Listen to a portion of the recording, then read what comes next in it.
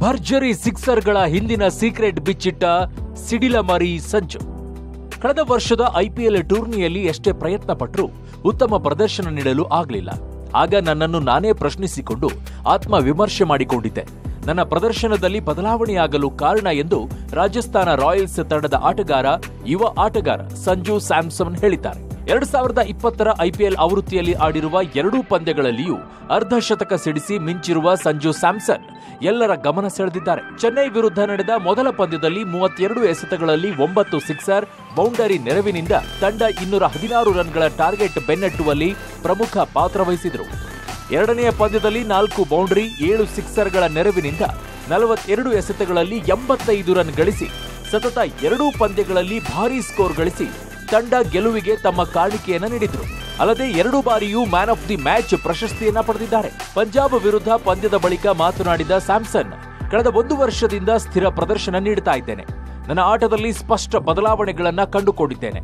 ಕಳೆದ ವರ್ಷದ ಐಪಿಎಲ್ ಟೂರ್ನಿಯಲ್ಲಿ ಎಷ್ಟೇ ಪ್ರಯತ್ನ ಪಟ್ಟರೂ ಉತ್ತಮ ಪ್ರದರ್ಶನ ನೀಡಲು ಸಾಧ್ಯವಾಗಿರಲಿಲ್ಲ. ಇದರೊಂದಿಗೆ ಜೀವನದಲ್ಲಿ ಏನು ಸಾಧನೆ ಮಾಡಬೇಕು, ನನ್ನ ವೃತ್ತಿ ಜೀವನ ಅಂತ್ಯವಾಗುವ ವೇಳೆಗೆ ಎಲ್ಲಿ ಇರಬೇಕು ಅಂತ ಪ್ರಶ್ನೆ ಮಾಡಿಕೊಂಡಿದ್ದೆ. ಆ ಬಳಿಕ ಮುಂದಿನ ಹತ್ತು ವರ್ಷಗಳ ಕಾಲ ಕ್ರಿಕೆಟ್ ಆಡಬೇಕು ಅಂತ ನಿರ್ಧರಿಸಿ ನನ್ನ ಪೂರ್ತಿ ಸಮಯವನ್ನ ಇದಕ್ಕೆ ನೀಡಿದ್ದೆ. ನನ್ನ ಕುಟುಂಬ ಸದಸ್ಯರು, ಸ್ನೇಹಿತರು ನನಗೆ ಬೆಂಬಲವಾಗಿ ನಿಂತಿದ್ರು ನನ್ನ ಪೂರ್ತಿ ಸಾಮರ್ಥ್ಯವನ್ನ ಆಟದ ಕಡೆ ಗಮನ ಹರಿಸಿ ಆಡುತ್ತಿದ್ದು ಫಲಿತಾಂಶ ಅದೇ ಬರುತ್ತೆ ಅಂತ ವಿವರಿಸಿದ್ದಾರೆ. ನನ್ನ ಸ್ಫೋಟಕ ಪವರ್ಫುಲ್ ಸಿಕ್ಸರ್ ಗಳಿಗೆ ನನ್ನ ಜೀನ್ಸ್ ಕಾರಣ ಯಾಕಂದ್ರೆ ನಮ್ಮ ತಂದೆ ತುಂಬಾ ಪವರ್ಫುಲ್ ವ್ಯಕ್ತಿ. ಉತ್ತಮ ಪ್ರದರ್ಶನ ನೀಡಲು ಫಿಟ್ ಆಗಿರುವುದು ಮುಖ್ಯವಾಗುತ್ತೆ. ಆದ್ದರಿಂದಲೇ ಹೆಚ್ಚು ಫಿಟ್ನೆಸ್ ಕಡೆ ಗಮನ ಹರಿಸಿದ್ದೇನೆ ಅಂತ ಹೇಳಿದ್ರು.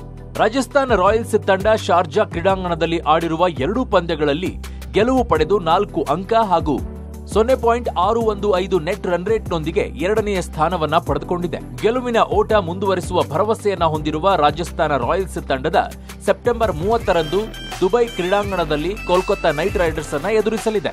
ಲಾಕ್ಡೌನ್ ಸಮಯವನ್ನ ಉತ್ತಮವಾಗಿ ಬಳಸಿಕೊಂಡಿರುವ ಸಂಜು ಸ್ಯಾಮ್ಸನ್ ಈ ಅವಧಿಯಲ್ಲಿ ಸುಮಾರು ಇಪ್ಪತ್ತು ಸಾವಿರ ಅಧಿಕ ಎಸೆತಗಳನ್ನು ಎದುರಿಸಿದ್ದಾರೆ. ಮನೆಯ ಬಳಿ ನೆಟ್ಸ್ನಲ್ಲಿ ಬೆವರಳಿಸಿದ ಸ್ಯಾಮ್ಸನ್ ಥ್ರೋ ಡೌನ್ ಮೂಲಕ ಎಸೆತಗಳನ್ನು ಎದುರಿಸಿ ಅಭ್ಯಾಸ ನಡೆಸಿದರು. ಟೀಂ ಇಂಡಿಯಾ ಮಾಜಿ ನಾಯಕ ಎಂಎಸ್ ಧೋನಿ ನಿವೃತ್ತಿಯ ಬಳಿಕ ಅವರ ಸ್ಥಾನವನ್ನ ಪಡೆಯಲು ಭಾರೀ ಪೈಪೋಟಿ ನಡೀತಾ ಇದ್ದು ಕೆಎಲ್ ರಾಹುಲ್, ಸಂಜು ಸ್ಯಾಮ್ಸನ್, ರಿಷಬ್ ಪಂತ್ ಈ ಸ್ಥಾನದಲ್ಲಿ ಮುಂದಿದ್ದಾರೆ.